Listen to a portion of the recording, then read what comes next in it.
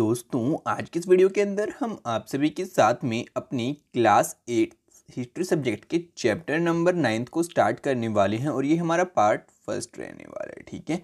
तो यार, यहाँ पे आप सभी का चैप्टर का नाम है the making of the national movement. कि भाई, जो हमारी नेशनल मूवमेंट हुई थी 1947 के लिए, वो आपकी कैसे बनी थी, उसको बनाने के पीछे हमारे क्या क्या कारण रहे, वो हम सब यहाँ पे स्टडी करने वाले हैं, ठीक है? तो चलो यार, फटाफट से स्टार्ट करते हैं। अब यहाँ पे आपको फिगर वन दिखाता है और बताता है, police tear gas demonstrators during the Quit India movement की। भाई, जो आपकी क्विट इंडिया मूवमेंट चलाई जा रही थी तो उस टाइम के ऊपर जो आपकी पुलिस थी, लोगों के ऊपर जो आपके आँसू गैस के, अगर आपने सुने हो, गोले वगैरह फेंके जाते हैं, जिससे क्या हो जाता है कि लोगों को बहुत ज़्यादा आँसू आना स्टार्ट हो जाते हैं और वो वहाँ से चले जाते हैं। तो उस गैस का इस्तेमाल यहाँ पर कर रखा है, आप उसको देख सकते हैं, पुलिस वालों ने, ठीक है? अब यहाँ पे बोलता है। In the previous chapters we have looked at कि भाई जो हमारे पिछले चैप्टर्स थे, वहाँ पे हमने सीखा। क्या क्या सीखा, वो यहाँ पे बताता है। कहता है the British conquest of territories and takeover of kingdoms कि भाई जो अंग्रेज़ थे, वो यहाँ पे कैसे आए और कैसे उन्होंने अपने साम्राज्य को बड़ा किया। और कैसे राजाओं को अपने अंडर में ले लिया।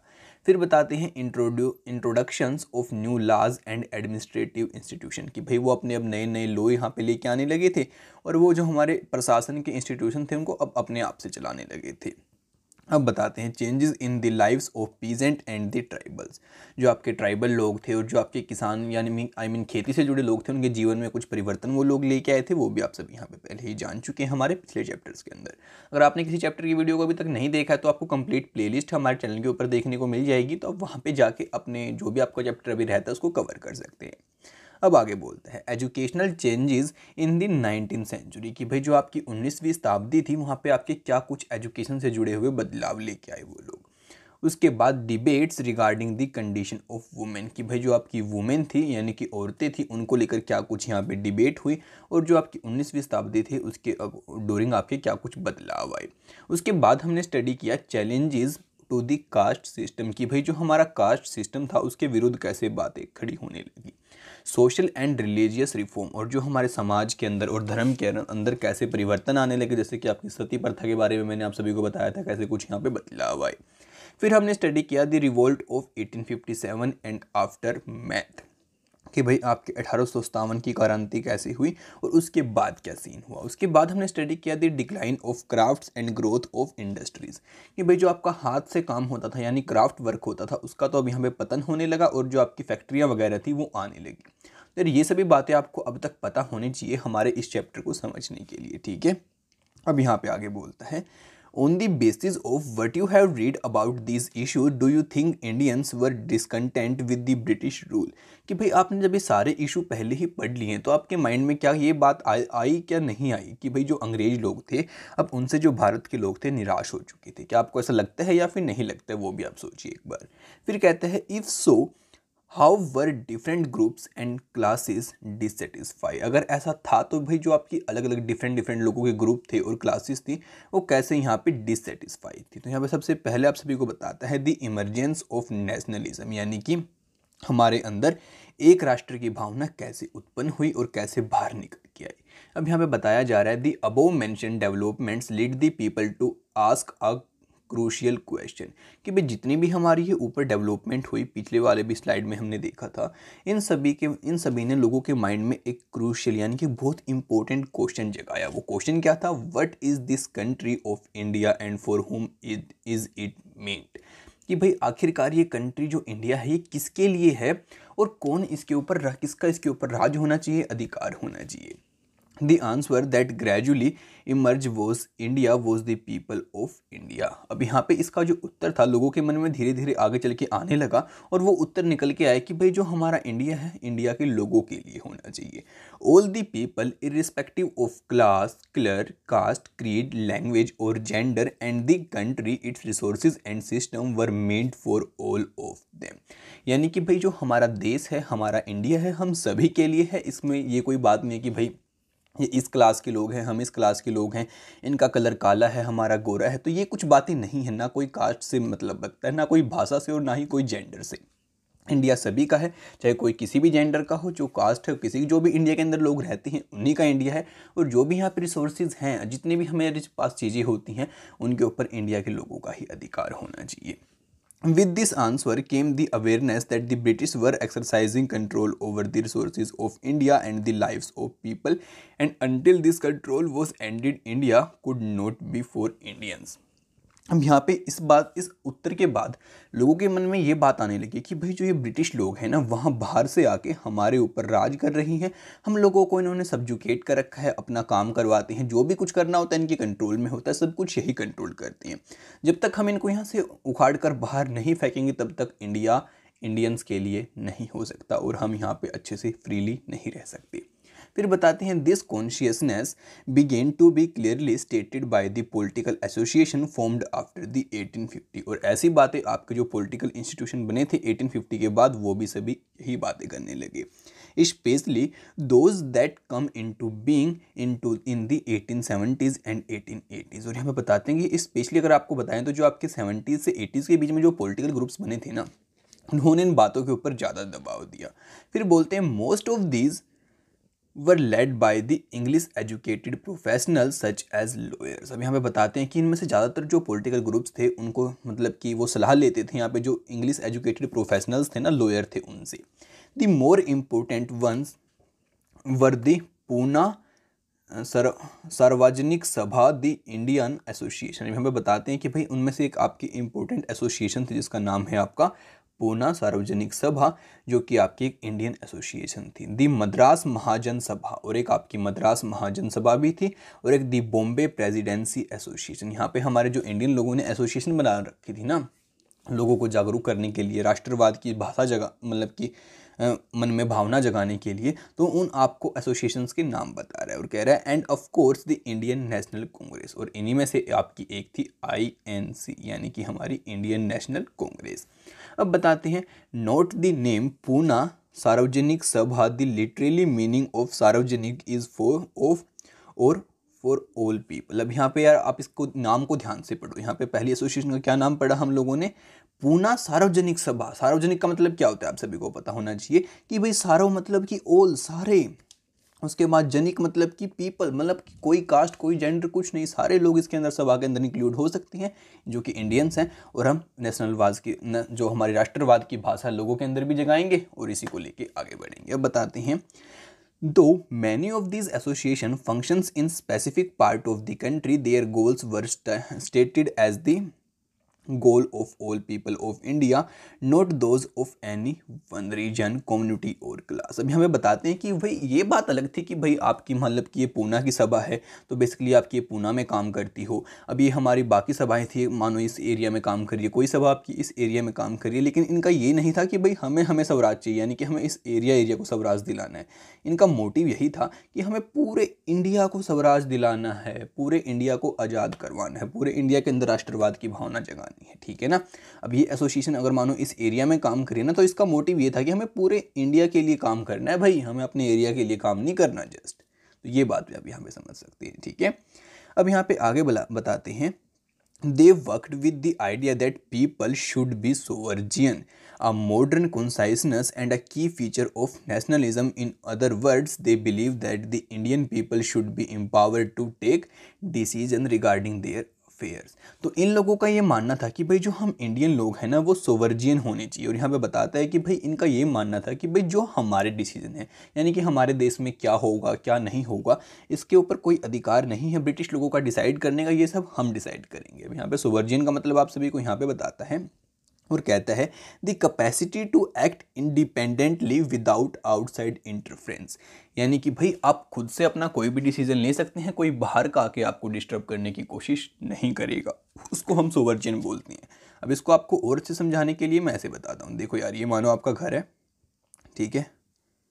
ये आपका घर हो गया। अब आपके घर में मानो यार, आप कोई बात चल रही है यहाँ पे, आपकी मम्मी पापा की और आपकी, ठीक है? और अब यहाँ पे कोई बाहर का इंसान है।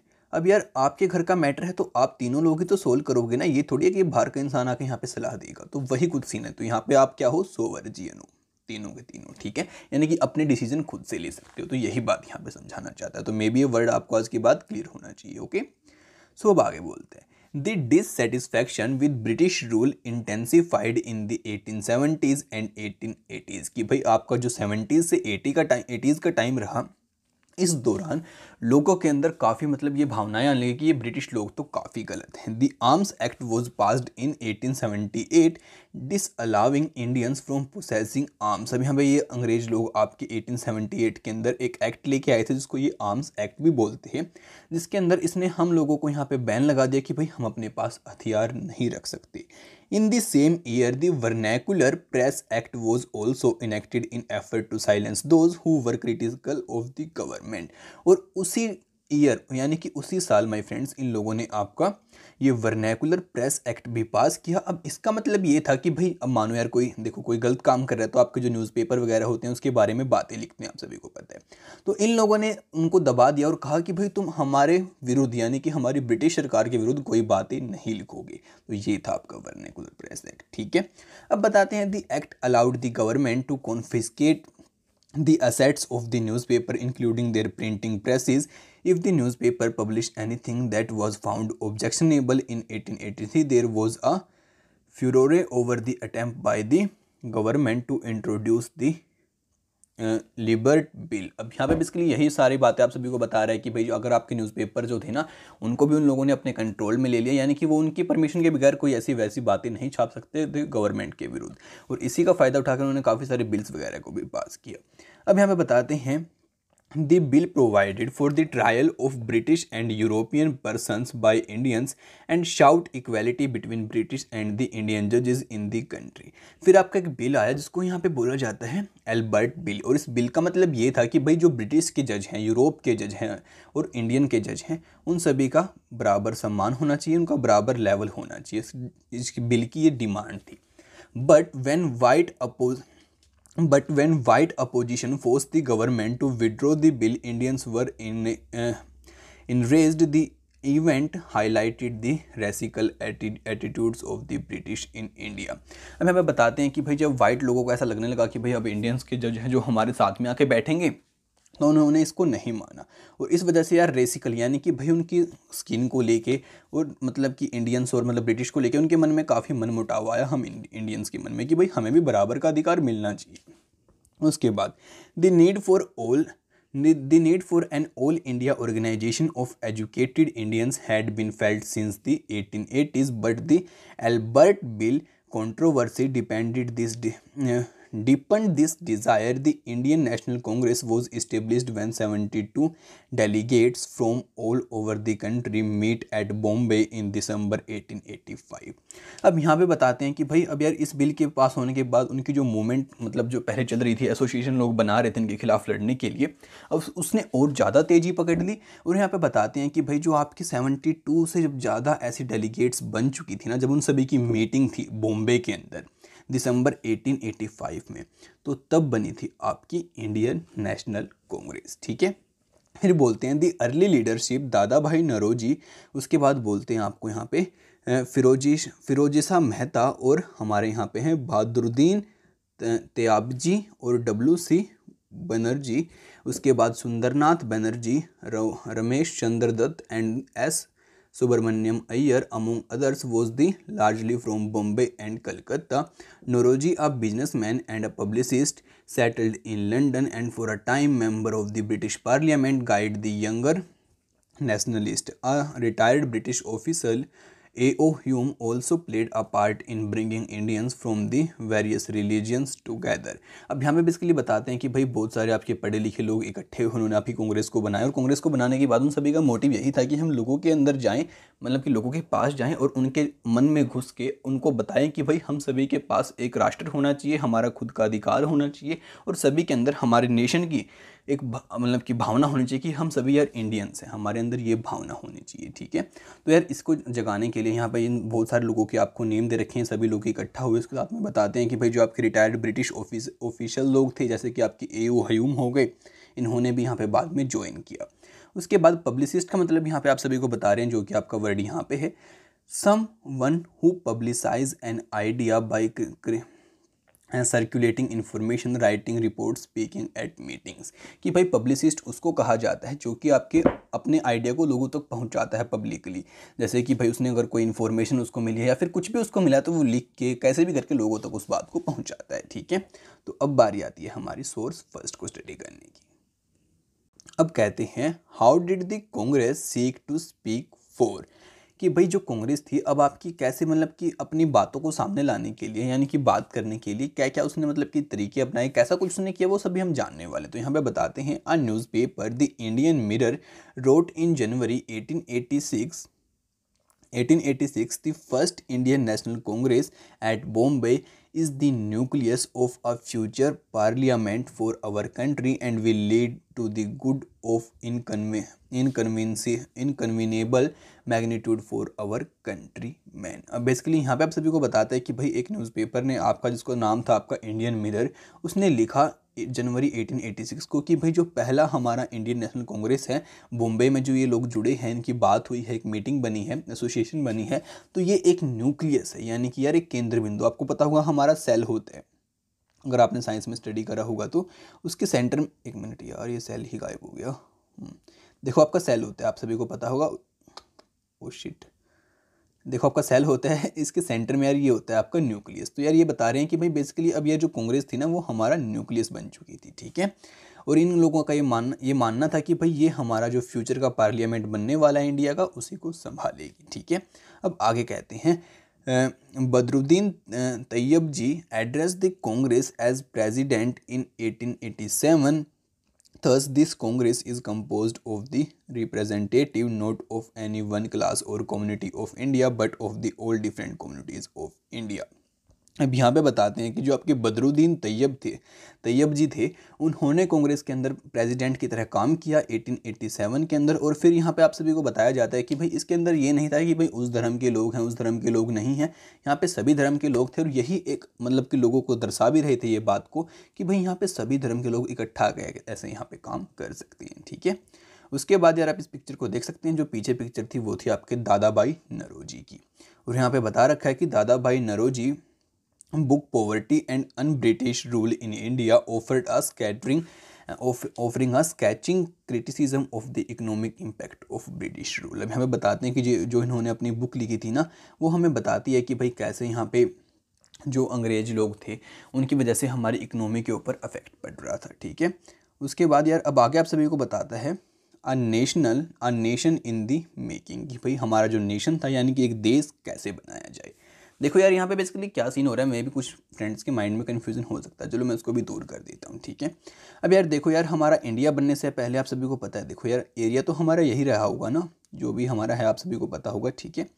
लेकिन आप सभी को पता है कि भाई यहाँ पे आपका जैसे आपका बॉम्बे आज के टाइम पे यहाँ पे है और आपका पूरा महाराष्ट्र बनता है ये। लेकिन यार, उस टाइम पे आप समझ सकते हो कि भैया किसी एक राजा की मतलब पूरा एरिया हो सकता है किंगडम हो सकती है, और ऐसे ही जो हमारा इंडिया था, वो अलग अलग राज्यों के अंदर टूटा हुआ था। अब ये लोग क्या चाह रहे थे कि भाई जो भी लोग पहले ही इस एरिया में रहते थे, जैसे कि एक मिनट इस कलर को लेते जैसे कि मानो इस एरिया में जितने भी लोग रहते हैं, उन सभी के अंदर हम एक भावना जगा दें कि भाई हम लोग यहाँ पे स्टार्टिंग से रहते हैं तो यार ये सारी लैंड हमारी है और हम सभी क्या हैं? इंडियंस ठीक है? और फिर पूरे देश को हम नाम दे देंगे बाद में इंडिया। और हम सभी एक हो जाएँगे, तभी हम सारे एरिया से अंग्रेज़ों को निकाल के बाहर फेंक पाएँगे। तो यार ये कुछ बातें अभी तक चल रही हैं, ठीक है ना? तो अब मे भी आपके माइंड में क्लियर पिक्चर होनी चाहिए, ठीक है ना? आप कोई डाउट नहीं बचना चाहिए। बाकी अगर अब भी कोई डाउट है तो आप एक काम करो डिस्क्रिप्शन को ओपन करो, वहाँ पर आपको मतलब कि मेरे different different social media handles के लिंक मिल जाएँगे तो उनके ऊपर क्लिक करो। मेरे को मैसेज कर सकते हो, अपने डाउट को क्लियर कर सकते हो, कोई ऐसी बड़ी बात नहीं है, ठीक है? अब आगे बताते हैं। A national in the making में, ठीक है? यहाँ पे बताता है it has often been said that the Congress in the first twenty years was moderate in its objective and methods कि भाई जो पहले ट्वेंटी यानी कि बीस साल रहे आपकी कांग्रेस के, उस टाइम पे आपकी कांग्रेस यानी मॉडरेट रही और उसके जो ऑब्जेक्टिव थे ज़्यादा हाई लेवल के नहीं थे, यानी कि उसके कोई बड़े लक्ष्य यहाँ पे नहीं थे। लक्ष्य मीन गोल अब आगे बोलते हैं during this period it demand a greater voice for the Indians in the government and in administration it wanted the legislative council to be made more representative given more power and introduced in provinces where the none existed it demand that the Indians be placed in the high position in the government मतलब कि अब तक वो सिर्फ़ क्या demand कर रहे थे जो कांग्रेस की, आपकी पार्टी की एसोसिएशन मतलब जो भी ये बनी थी वो? वो लोग अभी तक ब्रिटिश गवर्नमेंट से यही डिमांड कर रहे थे कि भाई जो यहाँ पे ऑफिसर लोग लगते हैं हमारे इंडिया के, उनको भी आप हाई लेवल पे लेके जाइए। जो पार्लियामेंट है, जो लेजिस्लेटिव काउंसिल है, उसके अंदर आप एक काम कीजिए, हम जो इंडियंस लोग हैं, हमको भी जगह दीजिए, हमारी सीटों को और बढ़ाइए और हमारा भी वहाँ पे बराबर का सम्मान होना चाहिए। तो मतलब कि कुछ ऐसे कुछ गोल वो लोग अभी तक अपने लेके चल रहे थे, ठीक है? अब कहते हैं for this purpose it called for civil service examination to be held in India as well as well not just in London फिर वो आके चल के ये डिमांड भी लेके आए कि भाई जो आपका सिविल सर्विस का एग्ज़ाम होता है आपका, ठीक है? यानी कि आपको पता है I S I P S वगैरह लगती हैं तो वो जो आपका एग्ज़ाम होता है, वो भी पहले लंदन में होता था, लेकिन अब ये लोग डिमांड करने लगे कि वो एग्ज़ाम भी, यानी कि वो एग्ज़ाम और पेपर आपका इंडिया के अंदर ही होना चाहिए।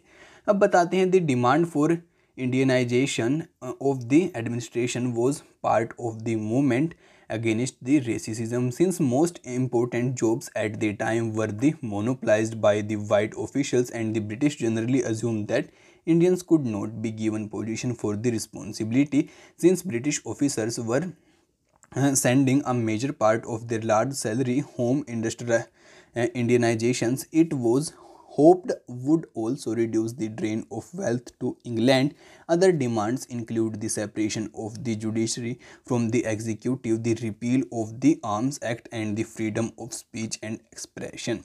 अब यहाँ पे बताते हैं कि भाई बेसिकली सीन क्या हो रहा था कि यहाँ पे इसी के साथ साथ जो रेसिज्म के खिलाफ भी लोग लड़ रहे थे रेसिज्म क्या था कि भाई जो आपके ब्रिटिश लोग हैं वो मतलब कि बड़े माने जा रहे हैं जो हम इंडियंस लोग हैं वो छोटे माने जा रहे हैं रेसिज्म होता है बेसिकली आपके मतलब कि आपके जो स्किन कलर होता है ना उसके बेस पे, यानी कि वो थोड़े गोरे थे, हम थोड़े मतलब कि उनसे थोड़ा हमारा रंग थोड़ा वैसा रहता है, आप सभी को पता होगा।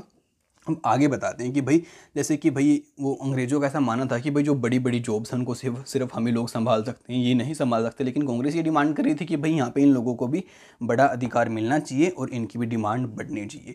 लेकिन यार, यहाँ पर हो क्या रहा था कि जो ब्रिटिश ऑफिसर्स थे, उनकी बहुत सारी सैलरी वहाँ पर वो लोग लेते थे और सारी सैलरी को वो इंग्लैंड में भेज देते थे बाद में जाके। तो इससे हमारे इंडिया से ड्रेन ऑफ़ वेल्थ हो रही थी। यानी कि जो हमारे इंडिया का पैसा था, वो सारा अब इंग्लैंड की तरफ़ जा रहा था बेसिकली और यहाँ पर कुछ वे डिमांड भी रखी गई कि जैसे भाई आपका मैंने आर्म्स एक्ट पीछे बताया था कि भाई उसको भी रिपील कर दो, यानी कि उसको दोबारा से यहाँ पे, यहाँ से हटा दो और लोग दोबारा से यहाँ पे अपने पास वेपन्स वगैरह रख पाएँ। उसके बाद ये डिमांड भी थी कि भाई यहाँ पे जो अपने न्यूज़पेपर प्रेस वगैरह उनको बंद कर रखा है कि आपके अगेंस्ट कोई बातें ना छापे तो अब उनको भी फ्री कर दो। उनके पास भी अधिकार होना चाहिए कि भाई वो अपनी कोई भी बातें सामने ला हमारे पास रख सकें, ठीक है? अब आगे बताते हैं। सो यार रिपील का मतलब यहाँ पे बेसिकली आप सभी को बताता भी और कहता है कि to undo law to officially end the validity of something such as law कि भाई जो आपने पहले एक ला लेके आया है, उस ला को आप फिनिश कर दो, यानी कि उसको अंडो कर दो, अब फिनिश कर दो। और भाई जो आप मतलब कि बेसिकली यही बात आपको समझाना चाहते हैं, यहाँ पर ज़्यादा डीप में नहीं जाते हैं। ठीक है, अब हमारे पास आती है यार एक्टिविटी जो कि कहती है from beginning the Congress sought to speak for and in the name of all Indian people why did it choose to do so कि भाई आपने देखा यार, शुरुआत से ही जो आपकी कांग्रेस थी, वो क्या चिल्ला रही थी कि भाई सभी लोग यहाँ पे साथ में आएँगे, सभी के लिए हम फाइट करेंगे, सभी के साथ मिलकर चलना चाहिए चलना चाहिए तो वो ऐसा यहाँ पे क्यों कर रही थी? आपके माइंड में आया क्वेश्चन तो आना चाहिए था। बाकी यार इसका आंसर भी आपको मिल जाएगा। थोड़ा पेशेंस रखो। चैप्टर को जब हम आगे लेके चलेंगे अपने, ठीक है?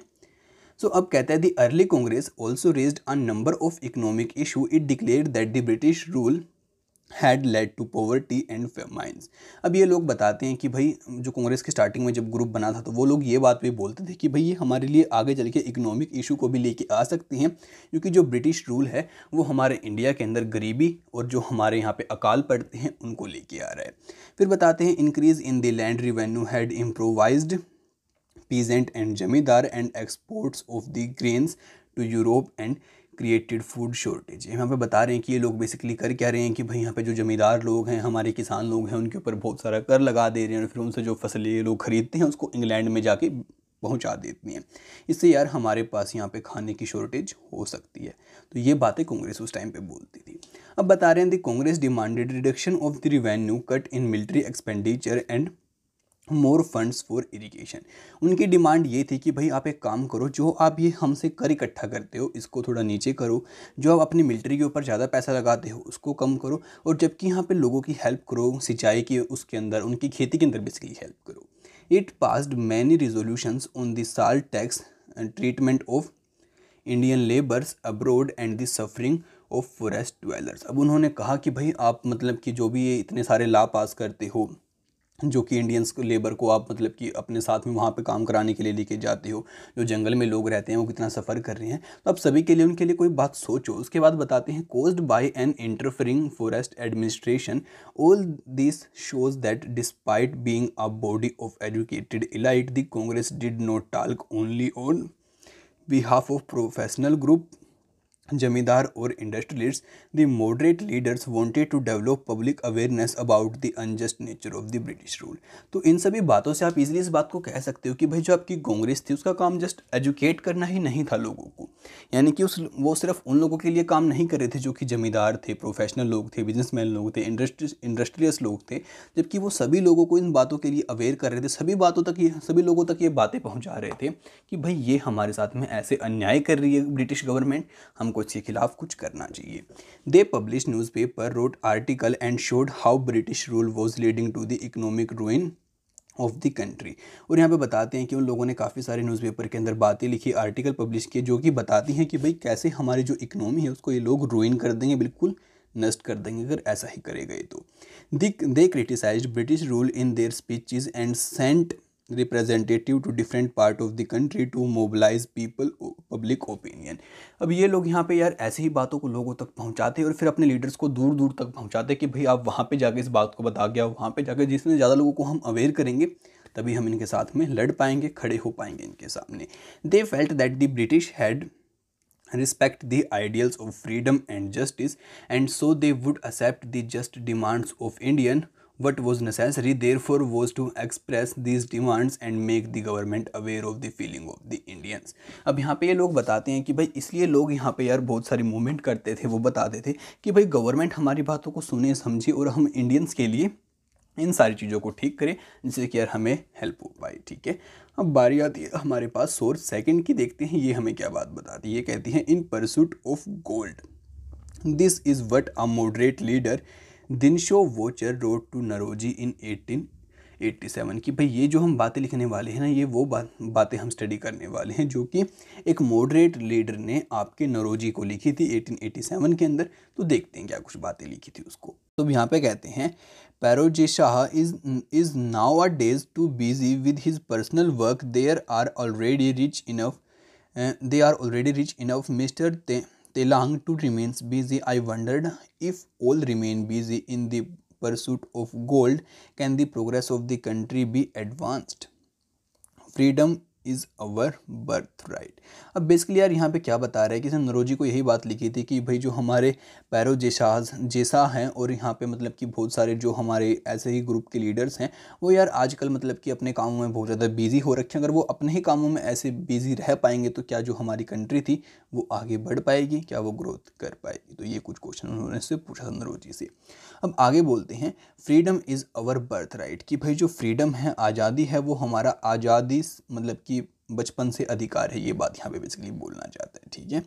अब कहते हैं by the eighteen nineties many Indians began to raise question about the political style of the Congress in Bengal Maharashtra and Punjab leader such as the Bipin Chandra Pal Bal Gangadhar Tilak Lala Lajpat Rai were beginning to explore more radical objectives and methods. They criticize the moderate moderates for their politics or prayers and emphasize, emphasize the importance of self-reliance and constructive work. They argued that people must rely on their own strength not on the good intentions of the government.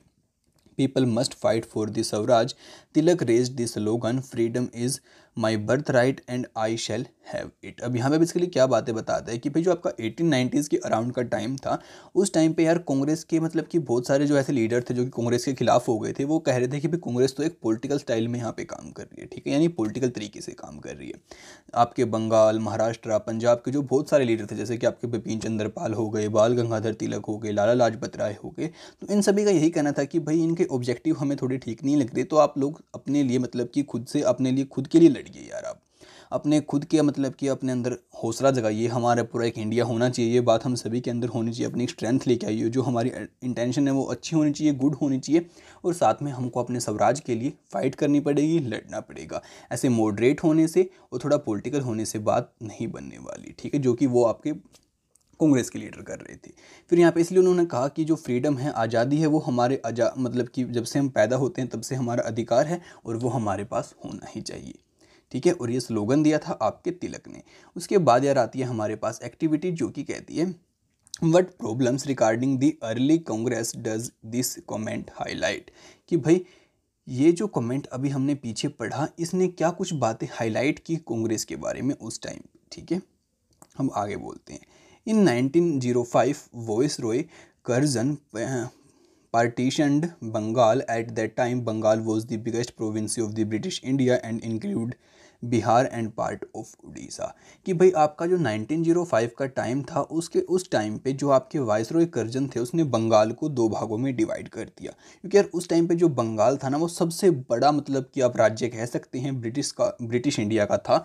और भाई यहाँ पर बताते हैं कि उस time पर उसके अंदर बिहार का भी, उड़ीसा का भी काफ़ी सारा पार्ट अंदर में आता था, उसके मतलब कि आपके बंगाल के अंदर। फिर बताते हैं, the British argued for dividing Bengal for reason of administrative convenience और उनका ये कहना था कि, भाई, हम इसको इसलिए डिवाइड कर रहे हैं क्योंकि इससे हमें ना जो हम लॉ वगैरह बनाते हैं, उसको बनाने में थोड़ी आसानी होगी और ज़्यादा अच्छे से उसकी इम्प्लीमेंटेशन हो पाएगी.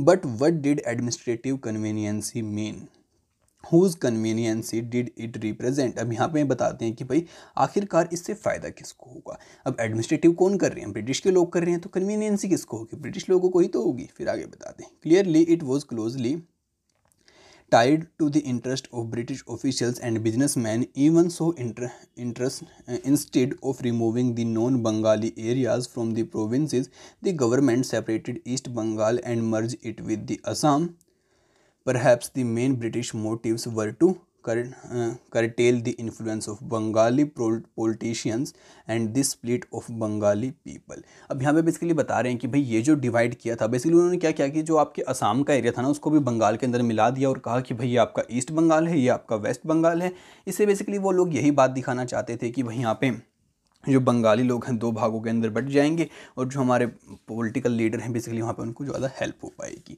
फिर बताते हैं the partition of Bengal infuriated people all over India all sections of Congress the moderates and the radicals as they may be called oppose it अब यहाँ पे बताते हैं कि भाई जो आपके बंगाल को उन लोगों ने बांटा, इसको लेकर यार लोगों के अंदर काफ़ी ज़्यादा गुस्सा आया क्रोध आया। और साथ में बताते हैं कि जो कांग्रेस के आपके दोनों टाइप के लीडर थे, यानी कि जो मॉडरेट थे, कि भाई हम यहाँ पे ब्रिटिश गवर्नमेंट से डिमांड करेंगे, वो हमारी बातें सुन लेंगे, ये सुन लेंगे। तो ये जो मॉडरेट लोग थे, वो भी और जो आपके रेडिकल यानी कि जो कहते थे कि भाई हम सभी लोगों को मिलकर फाइट करनी चाहिए, ऐसे मॉडरेट होने से काम नहीं बनने वाला। यानी कि जो भी हम उनको कहते थे, यार सभी ने इसका मतलब विरोध किया। फिर बताते हैं large public meetings and demonstrations were ओरिज organized and novel methods of, ma of mass protest developed. The struggle that unfolded came to be known as the Saudeshi movement, strongest in the Bengal but with echoes elsewhere too. In the Deltic Andhra, for instance, it was known as the Vande Mataram movement. अब यहाँ पे कहते हैं कि भाई आंध्रा के अंदर इसको वंदे मातरम मूवमेंट कहा, कहीं इसको स्वदेशी मूवमेंट कहा। अब यहाँ पे लोग इकट्ठा हुए चाहते थे कि भाई जो बंगाल का ये लोगों ने किया है, ये बिल्कुल गलत किया है, ठीक है? अब यही बात थी। पीछे यार आप इस पिक्चर को ध्यान से देख सकते हैं, ये पिक्चर है आपकी बाल गंगाधर तिलक की। और इसके बारे में बातें बताता है, कहता है notice the name of the newspaper that lies on the table Kesari. Uh, Marathi newspaper entitled by the Tilak, Tilak became one of the strongest critics of British rule कि भाई यहाँ पे आप इसको देखो और यहाँ पे देखो कि आपका एक मराठी न्यूज़पेपर आपको टेबल के ऊपर देखने को मिलेगा। इसके अंदर ये काफ़ी सारी बातें लिखते थे ब्रिटिश लोगों के खिलाफ। ठीक है, उसके बाद आप फिगर इस फोर्थ को देखो। यहाँ पे कहते हैं कि thousand join the demonstration demonstration during the Swadeshi movement कि भाई जो आपकी स्वदेशी मूवमेंट चलाई गई, अब स्वदेशी मूवमेंट आपके बंगाल के डिवाइड पे चली, इस बात को भी आप याद रखना। तो उसके अंदर जो भीड़ इकट्ठा हुई, उसको आप यहाँ पे देख सकते हैं, ठीक है? फिर कहते हैं the Swadeshi movement sought to oppose British rule and encourage the idea of self help Swadeshi enterprise national education and the use of Indian languages कि भाई जो स्वदेशी मूवमेंट आपकी चली, वो यहाँ पे बेसिकली यहाँ पे ब्रिटिश रूल के खिलाफ थी और जो कह रही थी और यही आइडिया को लोगों को बताना चाहते थे कि भाई हमें अपनी मदद अब खुद करनी पड़ेगी, हमें स्वदेशी अपने खुद की मतलब की फैक्ट्रियाँ वगैरह लेके आनी पड़ेगी और हमारे हमारे खुद की यहाँ पे एजुकेशन होनी चाहिए और हमारी भाषा का यहाँ पे प्रयोग होना चाहिए। To fight for Swaraj the radicals advocated mass mobilisation and the boycott the British institution and goods some individuals also began to began to suggest that revolutionary violence would be necessary to overthrow British rule कि भाई यहाँ पे फिर क्या होने लगा कि वो ब्रिटिश लोगों के बिल्कुल अपोज होने लगे? और कुछ का ये कहना था कि भाई यहाँ पे हमें रिवोल्यूशनरी वोलेंस यानी कि थोड़ी बहुत यहाँ पे अहिंसा का भी इस्तेमाल करना पड़ेगा, यानी कि भाई जो मार पिटाई का काम होता है वो भी करना पड़ेगा, आज़ादी के लिए बहुत ज़रूरी है। फिर बताते हैं the opening decades of the twenty century were mark by the other development as well कि भाई फिर आपकी बीसवीं शताब्दी की शुरुआत होने वाली थी तो यार यहाँ पे भी आपकी काफ़ी सारे बदलाव आए तो चलो उनके बारे में भी देखते हैं।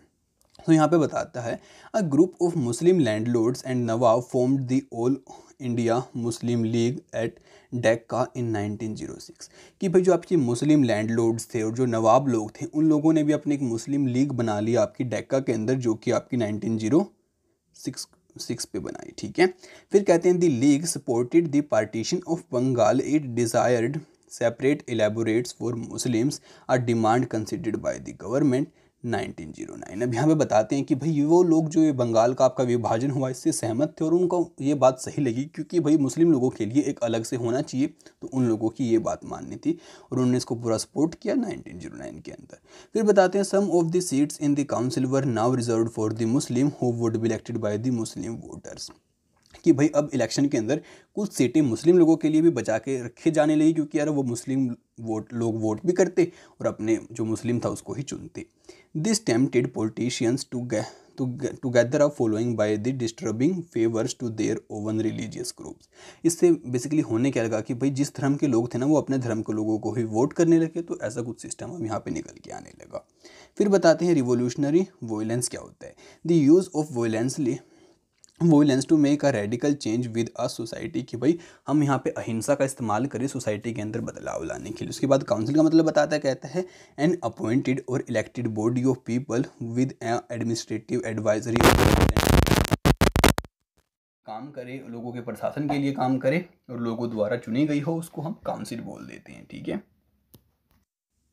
नेक्स्ट पेज पे आप पिक्चर देखिए, ये है आपके लाला लाजपत राय की पिक्चर और यहाँ पे बताते हैं a nationalist from Punjab he was one of the leading members of the radical radical group which was critical of the politics of the petitions he was also a active member of the Arya Samaj अब ये आर्य समाज के भी active member माने जाते हैं। उन्हें बताया जाता है कि आपके रेडिकल ग्रुप से बिलोंग करते थे।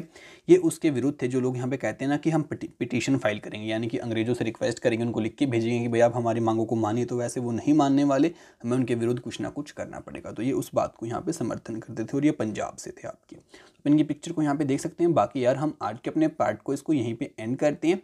अब नेक्स्ट पार्ट की वीडियो भी आप सभी को बहुत जल्दी देखने को मिल जाएगी। अगर आपको ये पार्ट समझ में आया है तो उसको आप ध्यान से समझिए। और कोई चीज़ मिस हो गई तो आप उसको वीडियो को रिवाइंड करके उसको ध्यान से सुनिए। अगर कोई डाउट फिर भी आपका आता है तो आप मेरे से कॉन्टैक्ट कर सकते हैं। आपको डिस्क्रिप्शन के अंदर लिंक देखने को मिल जाएँगे या फिर आप नीचे कॉमेंट कर सकते हैं। अगर आपको अगर आपको वीडियो अच्छी लगे तो इसको अपने फ्रेंड्स के साथ में भी शेयर करना बिल्कुल मत भूलना, जिससे कि यार उनकी भी हेल्प हो पाए और वो भी नॉलेज को गेन कर पाएँ। एंड अगर आपको वीडियो अच्छी लगे तो आप इसको लाइक कर सकते हैं। अगली वीडियो सबसे पहले देखेंगे सब्सक्राइब करना बिल्कुल भी मत बोलना साथ ही बेल नोटिफिकेशन गोल पर सेट कर लेना। तो आपसे मिलते हैं वीडियो में बहुत जल्दी। तब तक के लिए माय फ्रेंड्स बाय